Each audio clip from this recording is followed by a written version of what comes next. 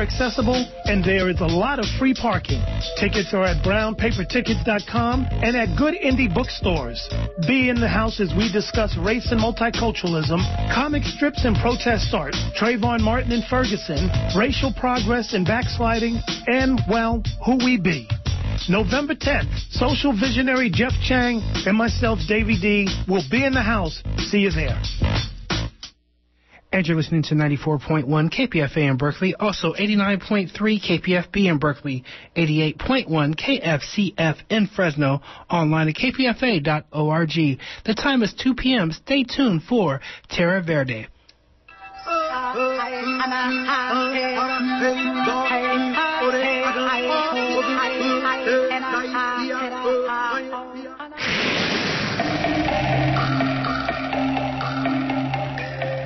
From the Amazon basin, from the magnificent redwoods of California to the icy majesty of the Arctic, life on Earth faces an unprecedented threat from careless development. Join Terra Verde over lunch today to find out about the unfolding future of the planet. Welcome to Terra Verde, a weekly environmental radio show on KPFA or KPFB in Berkeley or KFCF in Fresno. My name is Adrienne Fitch Frankel. Today it's Halloween and we're going to talk about something scary escalated crowd control tactics by police at protest, uh, sorry, at pro-environment protests and ra- rallies. In the past, police used batons and dogs. Today, some use chemical agents, specialty impact munitions, and other dangerous technologies for which they, ha- they may have inadequate training. While countless people participate regularly in protests safely, there's been concern about new threats to protest rights within environmentalist circles for years. Events in the past couple of months months have brought these issues into the public eye. The Ferguson, Missouri protests have highlighted the militarization of the police. On the other hand, September's People's Climate March and Flood Wall Street events brought hundreds of thousands of people into the street with hardly any incidents. Joining us are three attorneys who are experts in representing demonstrators in civil and criminal lawsuits and keeping the streets safe for protesters. Joining us by phone are Lauren Regan, Executive Director of the Civil Liberties Defense Center in Eugene, Oregon, and Mass Defense Committee Chair of the Eugene chapter of the National Lawyers Guild, and Rachel Lederman, who has a private practice and is also uh, President of the National Lawyers Guild San Francisco Bay Area chapter and co-chair of its Demonstrations Committee.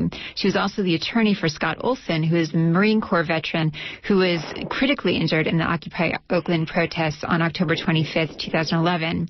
Joining me in the studio is Alan Schlosser, legal director of the American Civil U- Liberties Union of Northern California, and he was the attorney for the UC Davis protesters who were pepper sprayed in, on November 18th, 2011. Before we get started, I do have a public service announcement, which is completely unrelated. KPFA is a sponsor of the San Francisco Green Festival. It's taking place November 14th, 15th, and 16th at Fort Mason in San Francisco. KPFA listeners, you can get a discount uh, just by listening to us and by uh, going to greenfestivals.org, plugging in the discount code KPFA SF14. That's KPFA SF like San Francisco, 14 like 2014. You'll get a 50% d- discount off admission to the Green Festival. All right. So, Alan, let's start with you. Um, if you just read the Bill of Rights, it can seem like the rights to free speech and free assembly, which are uh, what kind of undermines protest rights, are unlimited. But in fact, there are limits. What are the limits that police are enforcing in a protest environment?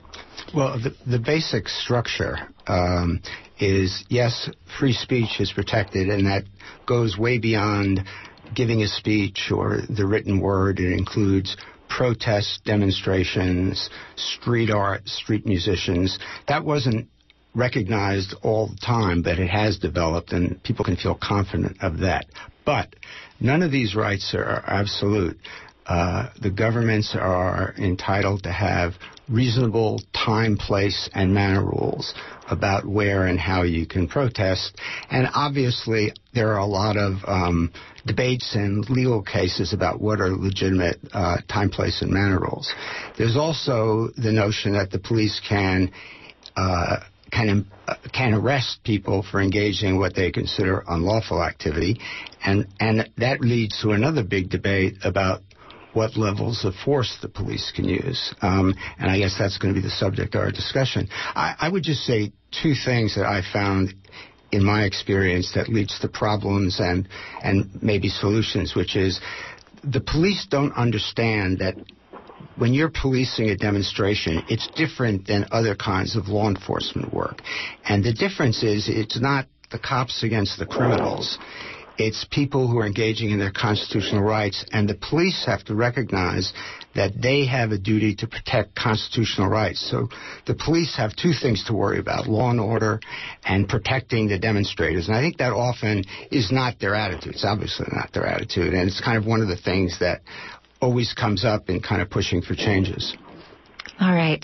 Thank you for, for that introduction. That's very helpful. So let's talk about some of the escalated police tactics that are being used that are of concern for crowd control. Uh, Lauren, how does the mere presence of police impact people's propensity to exercise their right to protest, especially right now with the particular gear that's being used? Right. Well, we're seeing, uh, especially a lot of local, smaller police departments, as soon as you know a handful of people, uh, you know, hold signs on the street corner, all of a sudden, you know, SWAT style res- police response uh, has been present, and there's a couple of problems with it. Number one, there are constitutional cases that say the police are not allowed to have an over presence, meaning, you know, if there are 10 protesters, you can't have 10 cops standing nearby sort of glowering at them. That there has to be, you know, sort of a reasonable proportion of police to the the assembly that's taking place. And the reason for that is that just the mere presence of police is considered a use of force. And in addition, the mere presence of police can often be a chill to people's First Amendment rights. They may be intimidated to join into the assembly or to exercise their rights uh, regarding their political beliefs because of the state presence that that is there. And I think this has been exacerbated by some of the new gear that um, has been a pretty common topic of conversation lately. Uh, it came out that the military had been sort of donating their used um, equipment to local police departments, including light armored vehicles and bulletproof equipment and guns and all sorts of things, so that nowadays it's not uncommon to see police sort of looking like stormtroopers with dart masks on and weapons that look like machine guns or shotguns, even if they ultimately end up shooting rubber bullets. You know, that's obviously really difficult for people to discern while they're on the streets.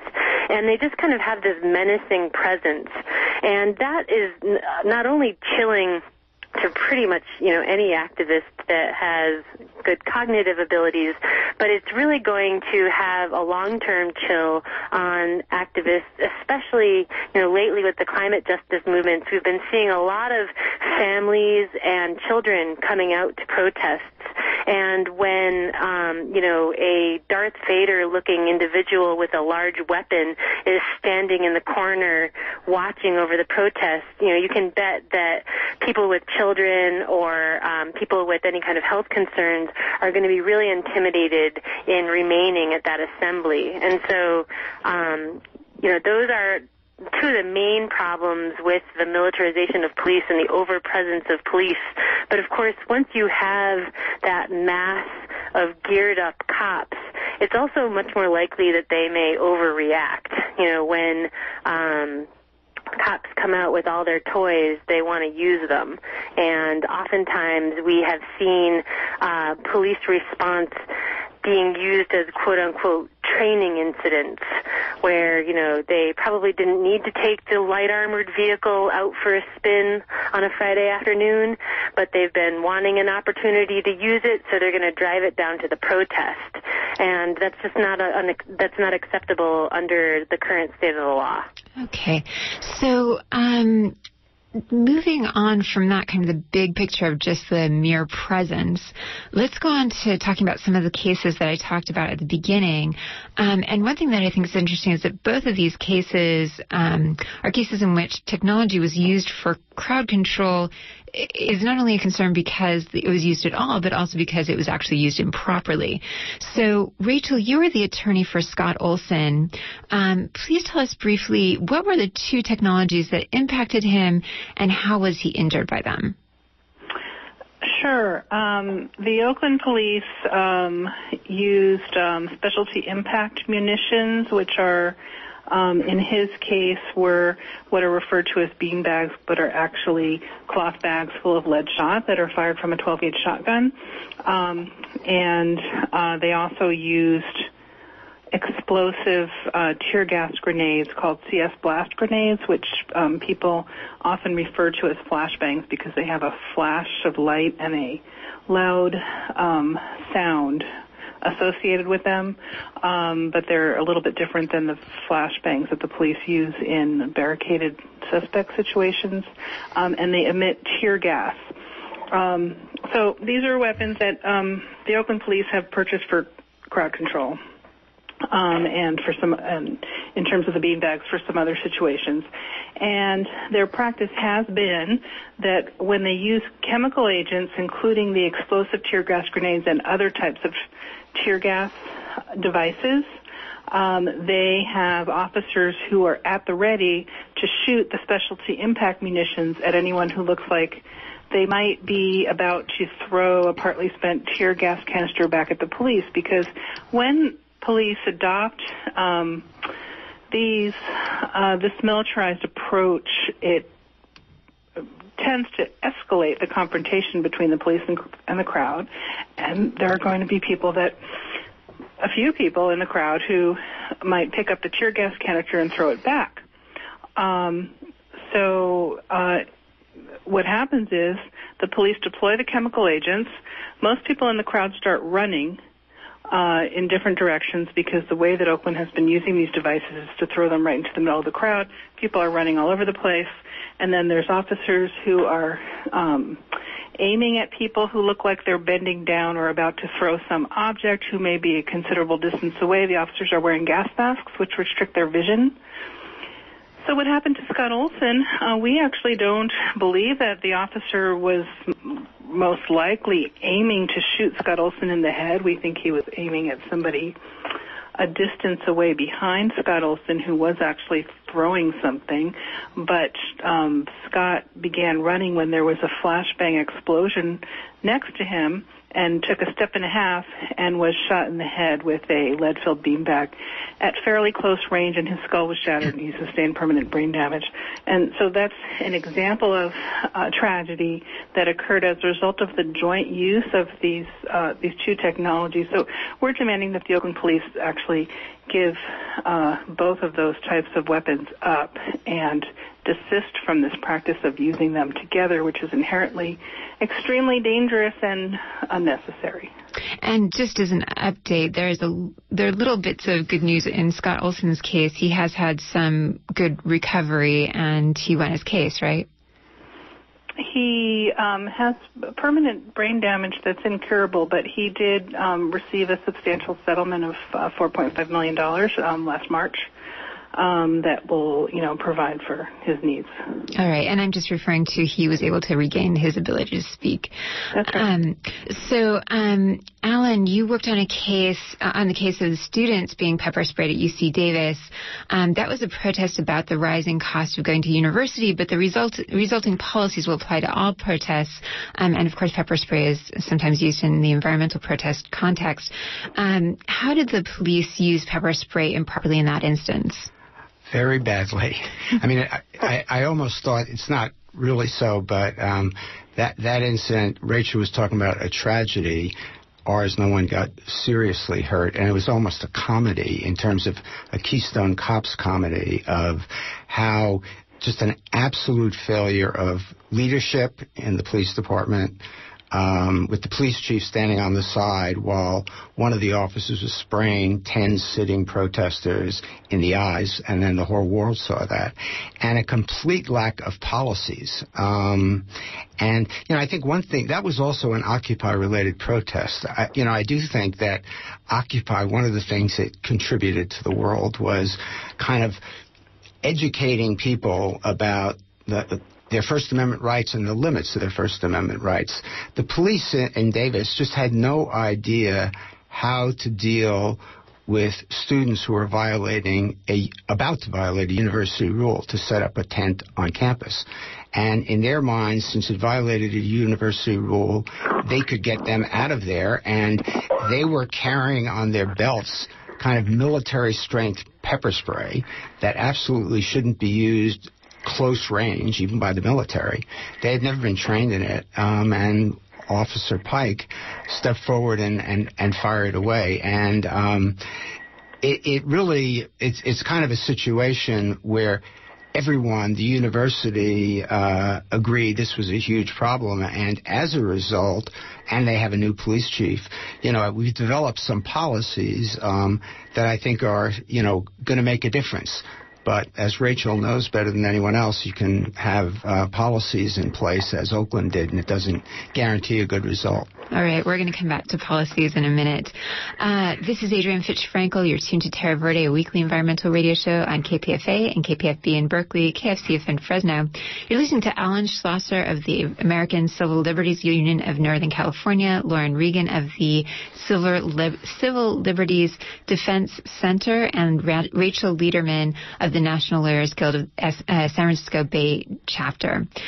So, um, uh, Lauren, there are also some. Um, there's a whole list of things that uh, I know that you you're aware of that you you've worked on some really disturbing cases where a baby was maced at a protest, uh, an officer shot directly into the baby's face.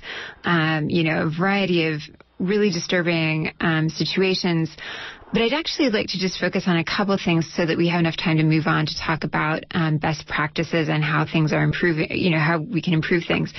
Um, so one thing, kind of at the extreme end of the spectrum, are some of the new technologies that could be used um, uh, that aren't being used on a widespread basis yet.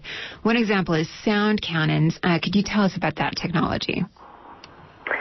Uh, sure. A sound cannon is basically this device that is used normally in conjunction with these light armored vehicles, these tank looking things. And um, the sound is so powerful that it literally can cause people to lose control of muscle function. Uh, a lot of people have experienced like urinating or defecating on themselves as a result of it. But the idea is that the the noise is so deafening and so painful to bystanders that they are forced to move away.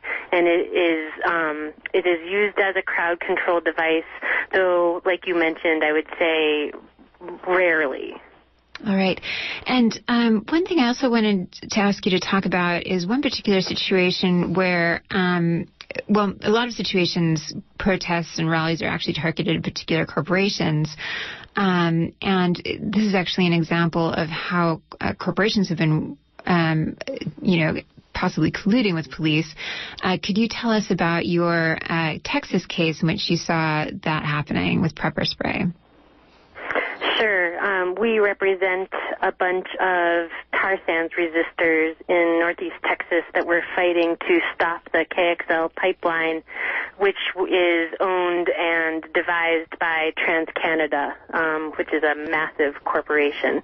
And part of the process of putting these pipelines into the ground is to clear cut giant swaths of territory so that they can dig these holes. And um, there was a protest in Cherokee County, which is this rural county that had probably never seen a protest before. And it involved a few people up in the trees, sort of in makeshift tree sits. And then the majority of people were standing on the side of a public roadway, just simply holding signs. And uh, occasionally chanting and cheering for the tree sitters. And at one point, um, the rural sheriff's deputies got frustrated with the crowd and got frustrated with what their role was at this protest. And they just started indiscriminately spraying pepper spray into the faces of these people standing on the roadway who a were not expecting it at all because they hadn't even been told to leave an area or to um, you know move back or anything like that. And b these were school teachers and grandmas and little kids and you know they they were not rough and tumble looking uh, activists in any sense. Um, and so after as this was happening, I ran over to the incident commander and was conversing with him, trying to get him to call back his dogs, uh, and kind of yelling at him about the indiscriminate use of OC spray. And one of the TransCanada representatives walked over uh, to the police officers that were standing near us and I'm assuming he didn't know, you know, who I was, uh, and he slapped the sheriff's deputy on the back and said, you know, good job today, boys. We'll bring over some pepper spray tonight to replace what you used today. And, you know, literally, you know, out loud acknowledged that this corporation was gifting chemical weapons to local law enforcement in order to encourage them to kind of repeat that tactic in the future. And it was a very su- successful tactic because a lot of the folks that were involved in that rally had never been to a protest before, and their first experience is to have you know chemical agents sprayed in their face, and of course that makes it far more likely that they are never going to return to community activism again. All right. So, so pretty successful tactic by the corporation. Rachel, let's turn to solutions and best practices. Uh, in the course of your work, and uh, some of this has been actually in conjunction with Alan and the ACLU, uh, you've developed some um, uh, crowd control policies uh, in um, Oakland as a result of some of these lawsuits. Could you, t- just give us some highlights of some of the best practices that have emerged from that process? Well, the written policy um, that we wrote for the Oakland Police, and which became um, part of the settlement and federal court order in um, some of the litigation um, that we've brought about these uh, demonstrations, um, uh, is a, a, very good policy on paper. The problem is that uh, the police don't follow it, and um, this really gets to like the essential problem, which isn't just the weapons itself; it's the conundrum of holding the police accountable. But uh, the policy uh, is uh, that the police, you know, will um, uh, facilitate First Amendment expression with um, the least amount of police intervention and force possible. That's the overall policy. And then um, we gave them very specific guidelines on when they can stop a demonstration by declaring an unlawful assembly and uh, when they can make mass arrests and um, and what would happen um, following the mass arrest because in Oakland we saw a lot of intimidation through um, illegal um, lengthy um, pre-charging incarceration of people who were unlawfully arrested at protests. Um, and then we gave, we um, prohibited uh, certain types of weapons um, uh, for crowd control entirely, um, and we allowed limited use of some others, namely the chemical agents. So um, the the specialty impact munitions, actually, according to the Oakland crowd control policy, they are a prohibited method of crowd control. Um, but the policy provides that under some very extreme circumstances, um, that basically amount to um, a situation where uh, deadly force could be used, um, where a person presents an immediate danger of death or great bodily injury to the police or to somebody else, um, and the person can be safely targeted without endangering other crowd members. In other words, they need to be away from the crowd. And there's nothing else that can be done, like, for example, arresting them. Um, then a specialty impact munition can be used. It can't be used indiscriminately as a way of driving, trying to drive the crowd away. All right. Um, so that's what was violated on a very uh, broad scale in, in the the at the Occupy event where Scott Olsen and a whole bunch of other people were injured. And I know there's some ongoing litigation to try to uh, move that process forward. Um, Alan, could you tell us a little bit about just a couple of highlights um, about the uh, what came out of the um, pepper spray incident and the new policies at UC? Right. Um, well, uh, in some ways, uh, they, uh, after having worked with Rachel on the Oakland and really drawing up what I thought was a very good policy, uh, that was in my mind when we were able, when we won our lawsuit and sat down with UC Davis. The one thing I found that was interesting and in some ways makes a campus setting harder, it's kind of counterintuitive, is that they have this idea, the administrators, that there's a First Amendment right to learn and teach. Now, of course, there is a right to learn and teach, but in their mind, that means there has to be quiet. There can't be noisy protest or protest that might offend people. And I think you know, again, with Occupy helping and uh, the Davis policy reflects it, they recognize that yes, the academy is a place to learn, but it's also a public forum and kind of the garden variety place where students should learn to be citizens by protesting. Uh, that's hard to get across to, to, universities. Uh, I'm, I'm kind of hoping that the result of a good policy is better than it's been in Oakland. All right. Um, Lauren, I'm going to give you the last word. We just have a minute left before we go to uh, give you guys an opportunity to uh, give out your URL, URLs. Um, but Lauren, let's end on a high note. Um, should people be afraid of protesting, or how should people feel at this point? Well, I think there's there's two quick responses I will give to that. You know, number one, uh, the cases that we're talking about today, or the ones that you may read about in the paper or hear about in the news, are actually pretty rare.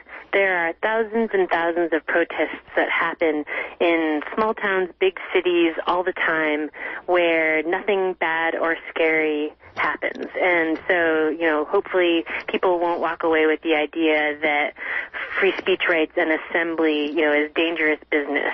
Because I think the second component is if police or the state in general learns that these tactics of violating people's rights and, you know, using excessive force are a successful method to deter people from exercising their rights, then we will likely see more of it than less. And, you know, federal litigation is incredibly expensive. It takes a long time to, you know, wind its way through the process. It's not an ideal way to be addressing these kind of tactics. Lauren, but I'm sorry, I'm going to have to cut you off because we're just about done with the program. I apologize. So um, I'm going to give each of you a chance to just shout out your, your URLs. Uh, Lauren, let's start with you. CLDC.org. Okay, so that was Civil Liberties Defense Center, CLDC.org. Their switchboard is 541 687 9180. Um, yes, that was right. Alan? Uh, aclunc.org. So aclunc.org or aclu.org, which also has a whole section on protest rights. Uh, the mainline switchboard for ACLU of Northern California is 415-621-2493. And, um, uh, um, and let's see, what, who else are we Sorry, let me pull up your URL here. Um, so, um, hold on a second.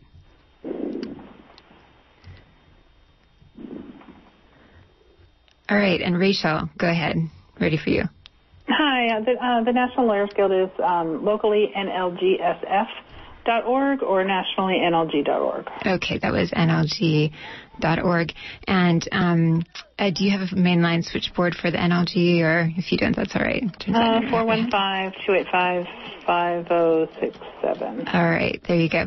All right, um, I urge everyone to take a look at those websites. They have lots of resources on uh, protest rights and ways to uh, protest safely, um, and also ways to get involved um, in um, uh, communicating your your interests. All right, thanks so much for joining us. Thanks to Wesley for engineering the show, and have a great weekend.